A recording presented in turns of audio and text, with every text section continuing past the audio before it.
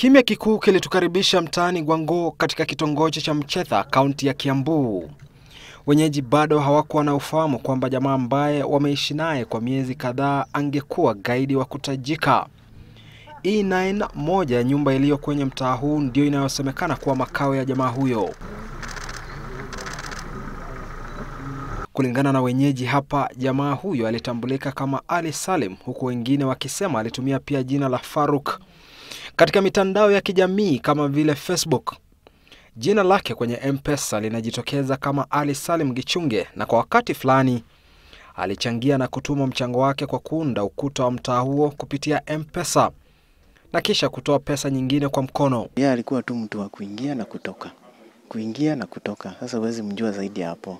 He just used to uh, go in the morning uh, with his car and then come back in the evening. Uh, he was just talking to the security guards at the gate and uh, he was tipping them. Uh, those are the only people that he was uh, interacting with.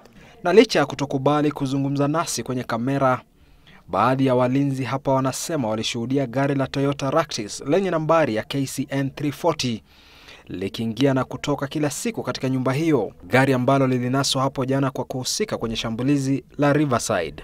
Aidha, wenyeji hapa wanasema jamaa huyo aliishi hapa na mwanamke mmoja ambaye wanadai alikuwa na tabia ya kujifunika hadi uso. Wanasema ukarimu wake ulikuwa wa kiwango cha juu na siku zote aliwajulia hali majirani zake. Hawezi kukupita hata salamu anakusalimia tu mkipitana. Kuna wale wanasema kwamba alipenda kuvalia kofia na alikuwa na ndevu zilizonyooshwa zikalainika. Licha ya wanahabari kuzuiwa kuingia katika nyumba ya E9.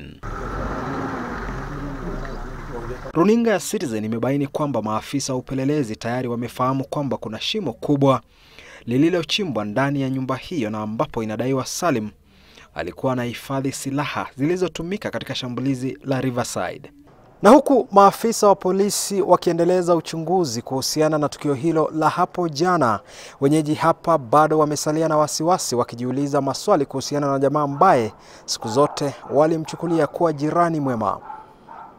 Makori Ongechi, runinga ya Citizen, kaunti ya Kiambu.